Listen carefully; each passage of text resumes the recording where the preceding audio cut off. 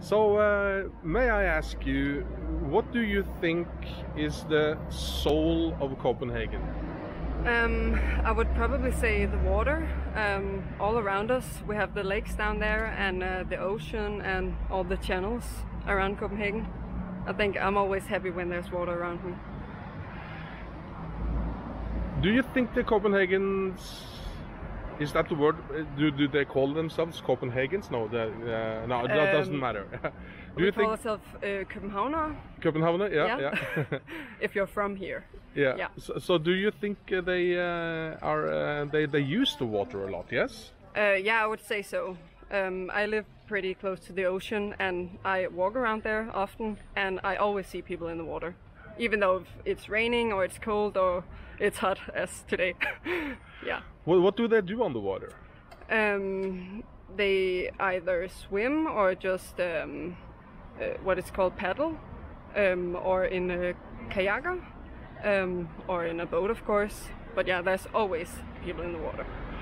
And I see there maybe for tourism only. I don't maybe mainly I don't know, but you can rent. You can rent. Is it electric? Uh, Yeah, yeah. We have uh, what is it called?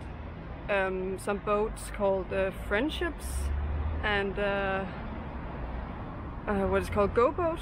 Yeah, yeah. And then you can rent them for uh, a couple hours, and then just uh, sail around and maybe have some drinks or food on the boat. Yeah, yeah. We've done it with my friends. Yeah.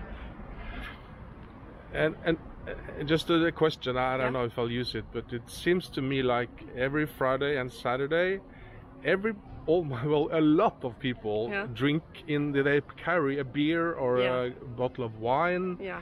and they they. Uh, I haven't seen that anywhere else in Oh, the whole haven't? world. No.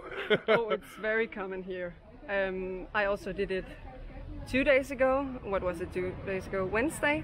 Um, then my friend and I, we actually sat down at the lakes with uh, a beer and uh, some food. So yeah, it's very common here in Denmark, Yeah. or especially in Copenhagen.